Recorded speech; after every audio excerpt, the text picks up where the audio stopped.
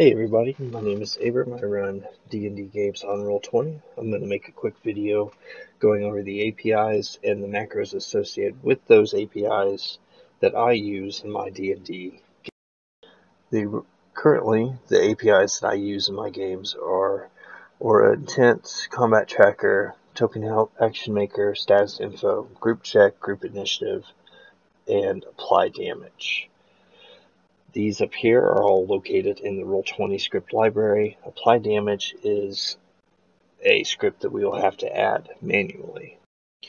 So with our games set up and ready to go, we are going to go over to settings, API scripts. Now it's very important you're going to need a pro account to add APIs into your game. That is about $10 a month. The first API that we're going to add is the token Aurora and to do that you're going to select your Roll20 API script library and we'll go ahead and type in Aura and it's going to pop up right there. You'll select it, select add script, saved. You'll notice that now it is located here showing that it is a script in your game.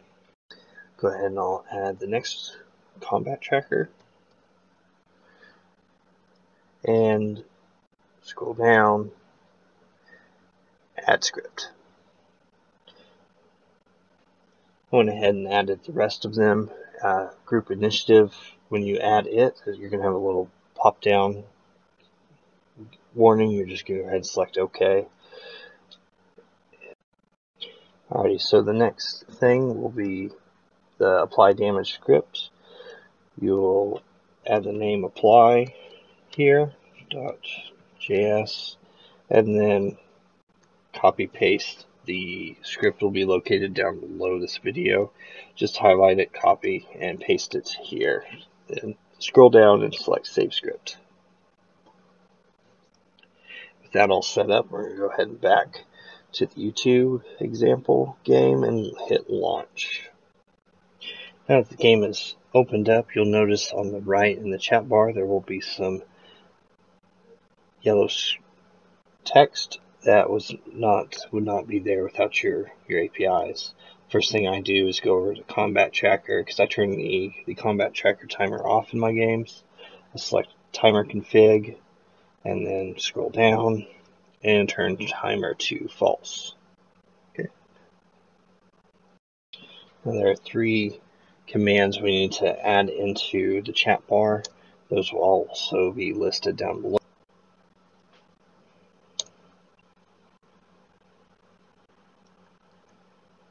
Last one. Now we need to add two macros in that talk to our APIs. Just select these three bars up here on the top right. Select add to your macros. It's very important that you do not put a space here in this text box. We'll do group check first. And this information will also be down below. And then we're going to add another one here.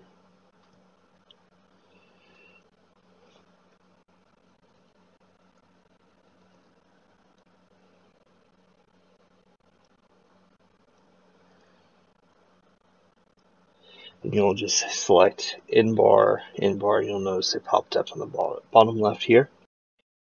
First API we're going to go over is the Aura Tint Health Colors.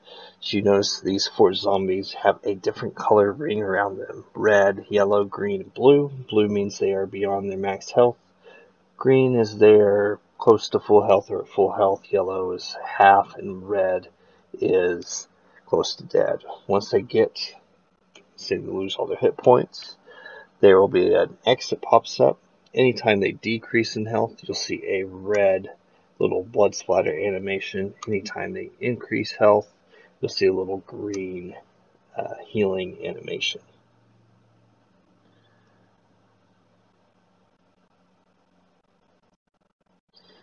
Well, think it did it that time, so we'll go, there you go. See that little green pop up there. Next one we will do the token action maker. So you'll select your token. In the chat bar you will type in exclamation point TA, enter, and this one creates macros that are connected to that token. So deselect, reselect, and then you will see that you can do a check. You can do an initiative, save, attack. It's just automatic. Uh, helps prevent you, the GM, from having to go in and out of several different character sheets. It would. It's very just a very quick time saver. We also have the status info API, and this is if you select one of these emblems down here. It's associated with some of them, but not all of them. Whenever there's a condition like unconscious, you select it, uh, or grappled or restrained. It gives a quick pop-up in the in the chat bar, lets everyone know what that condition is and the rules around it based on D&D 5e. All right, the last couple APIs, we'll go ahead and do the group initiative. To do that, you're going to highlight all of them. This is where one of our macros is going to come in handy. After you highlight them all, select group inish down here, and there it's rolled every single zombies initiative.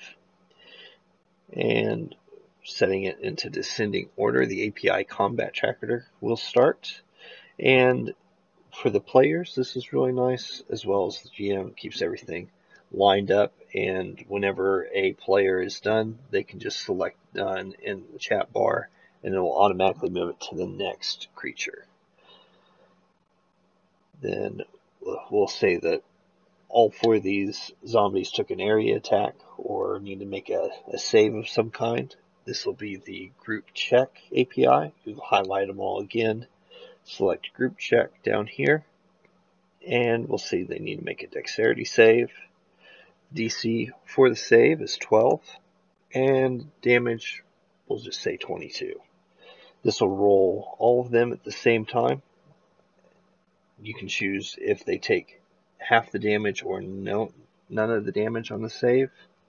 It'll roll all of them at the same time, and you can select apply damage, and it will apply the damage to the zombies automatically. As you see, the two here in the center failed their save, so they took the full 22 damage, where the two on the outside were successful, and they only took half damage. I want to thank you guys for watching this video. If I come across any new APIs that I end up liking and adding to my games, I will add another video on here showing how to set them up and any changes I may make in the future. If there's anything on Roll20 you want to know about, drop a message down below and I will try to maybe make a video or talk about it at some point. Thanks.